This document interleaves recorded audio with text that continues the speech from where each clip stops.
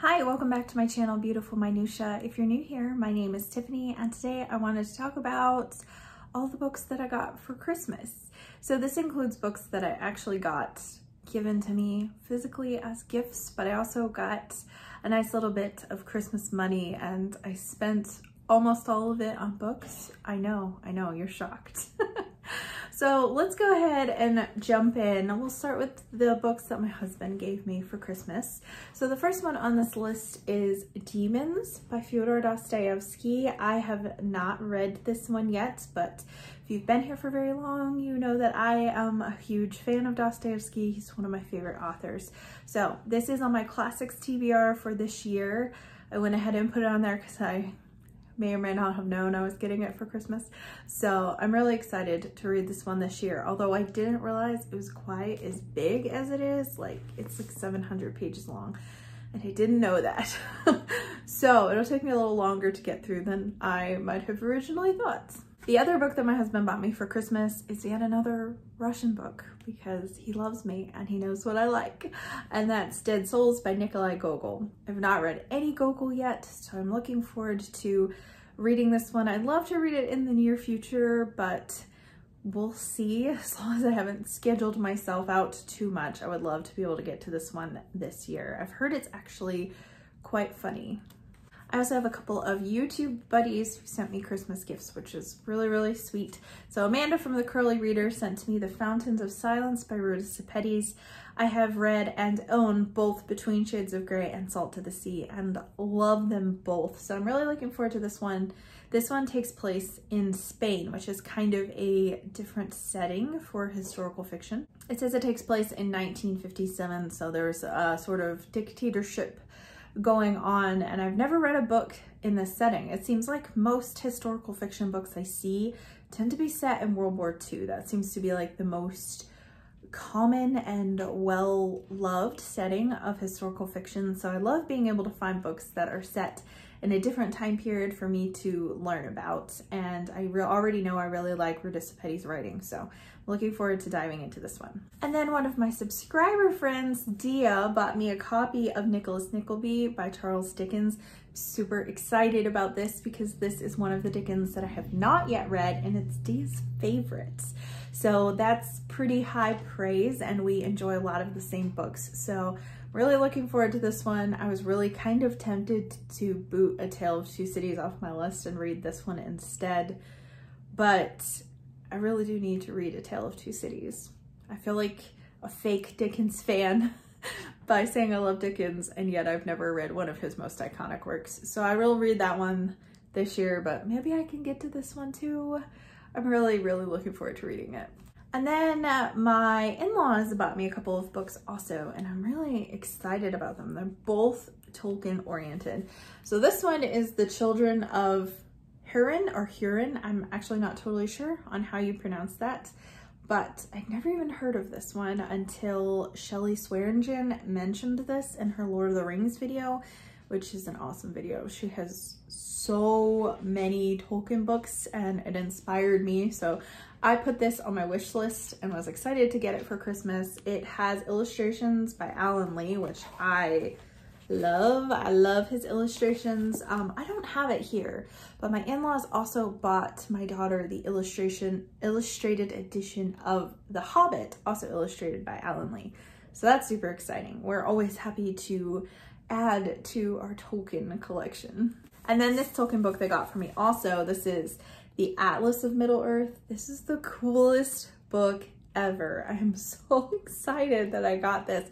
This was also inspired by Shelly's video. So Shelly, thank you so much for posting a video about all the Lord of the Rings things and making me want them all. I got several for Christmas thanks to you.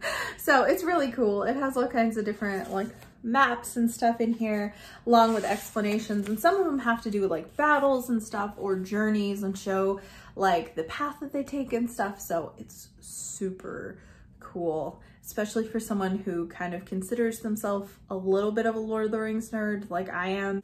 Okay, so all these other books are books that I purchased, but I purchased them with Christmas money. So we're counting them as Christmas book hauls. So when I got money for Christmas for books, the very first book that I planned to pick up, and it was the first book I picked up, was The Count of Monte Cristo by Alexander Dumas.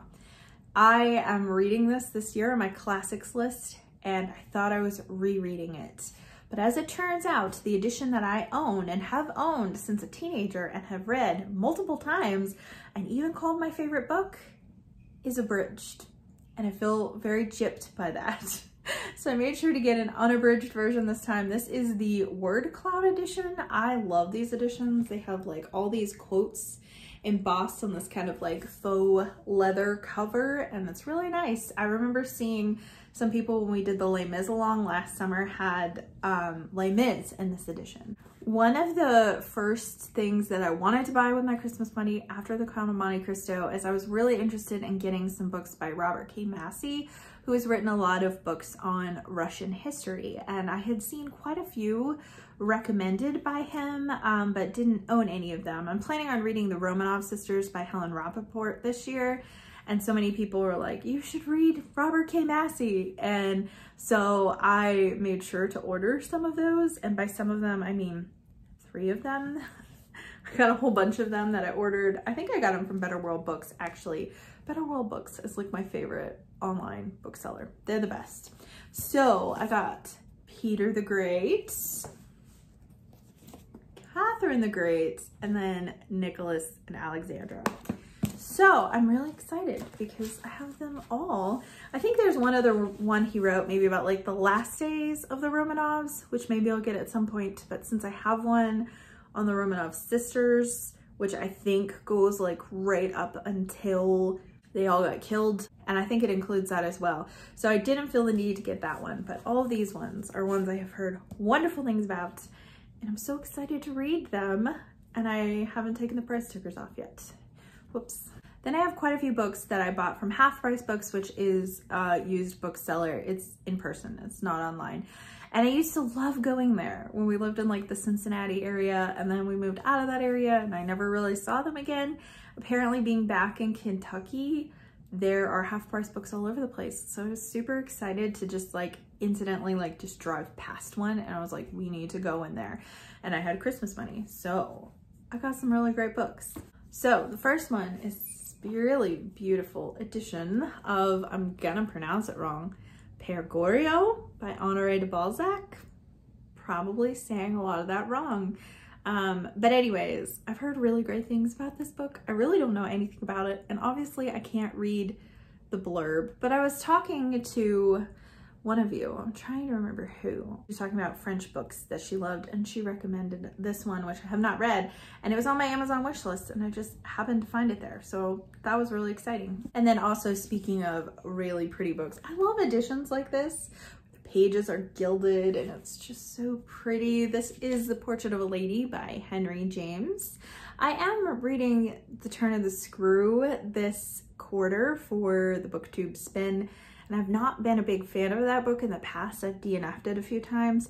Obviously, this is much larger, and I don't know if I will like it more than The Turn of the Screw, but I paid like, I want to say like a dollar fifty for this book because it was on clearance, and then Half Price Books was also doing like a store-wide, I think it was like 25 or 30% off.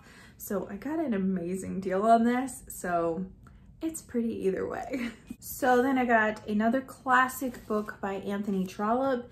He knew he was right. I think I remember Kaylee from Luminous Libro recommending this book and saying she really liked it. I still have not yet read any Trollope. I'm planning on reading The Warden this year, so hopefully I like Anthony Trollope since I just picked up another one of his books. Running out of room stack books here. um, the next book that I got is Golden Son by Pierce Brown. This is book two of the Red Rising series, which I read book one back in November. I did a whole reading vlog on it, so I'll link it in case you want to hear my thoughts.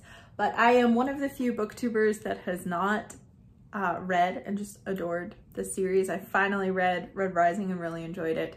So I'm looking forward to reading Golden Son next month, actually.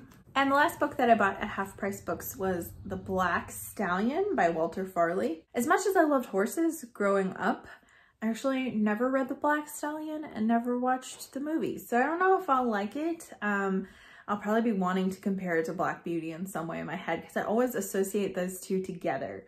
But I figured that Claire would also really like this book because she really likes horses. And I, this was another book that was also on clearance that I got for like a dollar or something. Oh, I lied. I actually have one more from Half Price Books. I picked up another stack and this one's on top. This is Assassin's Quest by Robin Hobb. I have the first two books that I got at a library book sale for like a quarter a piece or 10 cents a piece, something like that. They were really cheap. So they didn't have a book three. So I went ahead and picked up this one. It is the mass market edition, but so are the two that I bought. So it will kind of match those. Speaking of library book sale, I have a couple books here from library book sale that I picked up. The first one is James Herriot's Dog Stories. I don't know that these are any different than the book, than the stories in like the All Creatures Great and Small series. I feel like they're probably stories that are sprinkled throughout those series, but they're all about dogs. So they're compiled in one collection. I don't really know for sure, but I see James Herriot, and if I don't own it, I just want to pick it up. Then I found a Brandon Sanderson book, and this is actually one that my library was getting rid of, so I really wanted to pick it up because I wouldn't be able to get it from my library if I wanted it. But this is Arcanum Unbounded. And this is like a collection of short stories from the Cosmere of like Stormlight Archive and stuff. So I haven't started Stormlight Archive yet. I hope to this year.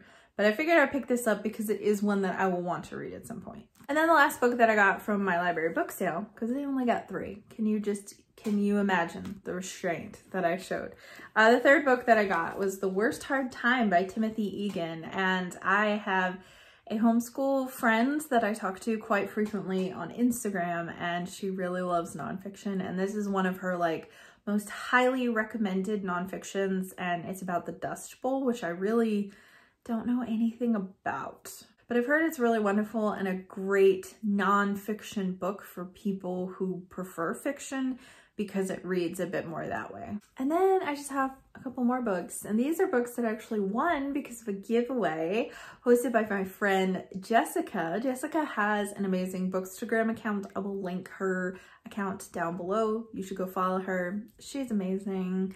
And she did a giveaway and I won, which was really cool. So I got a gift card to the online bookseller of my choice and surprise, surprise, I chose Better World Books because I just love them. Why do the kittens always play when I'm filming in here? I'm sure you can hear that bell. Anyway, so I got three books from Better World Books and one of them is not here yet. And I was like, why has this not been shipped? And then I went online and looked and realized that the seller's sending it from the UK. So no wonder it's taking so much longer. But that book is A Natural History of Dragons.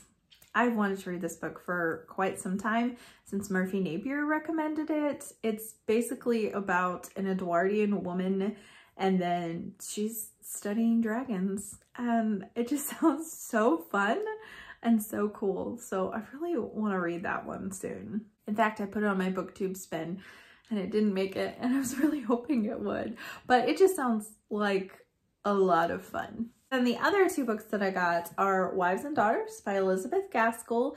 The only Gaskell I've read so far is North and South, and I honestly didn't love that book, which is such an unpopular opinion. Everyone loves North and South except for me. Um, I think I need to reread it because I went in with an expectation that was not fair because someone told me it was like Pride and Prejudice, but better. And it's not. But anyways, I would like to reread it because I went in with an expectation that it was going to be something that it wasn't. So I would really like to give it another chance. But most people say that Wives and Daughters is their favorite Elizabeth Gaskell. So I would really, really like to read this one. I heard that the ending is not finished. So I don't, I don't know what that's gonna do to me. that will cause me to like it a little bit less, but I've heard a lot of people say that this is their favorite, most notably Kate Howe talks about this book all the time. And I think Kate has the exact same edition of this. This like pretty Barnes & Noble bright pink edition. And then the last book that I have on here is The Mountains Sing by, I'm not sure I should even attempt to pronounce this name because I'm really terrible at pronouncing names at all. But anyways, it's a Vietnamese author. This book is set during the Vietnam War in Vietnam. So it's a very different perspective than what you might get in other historical fictions that are set in the same time period. So I'm really interested in reading this one. A while ago, I heard Danny from Spenelli Speaks talk about this book. And when she did, I immediately put it on my Goodreads TBR because it sounded so good. So finally got around to like purchasing it because my library does not have a copy because I would just really, really like to read this book. It sounds amazing. So that is my book haul for all the books that I got either for Christmas or with Christmas money. Although I guess the last couple were technically from a giveaway, but I just went ahead and included them anyway. I would love to hear from you down in the comments below. If you've read any of these books, which ones do you think that I should prioritize? And also, one of your favorite books that you got for Christmas that you're really looking forward to diving into. Thank you so much for watching. If you like this video, please hit like and also subscribe so you can continue to see more bookish content from me. And I will see you again next time.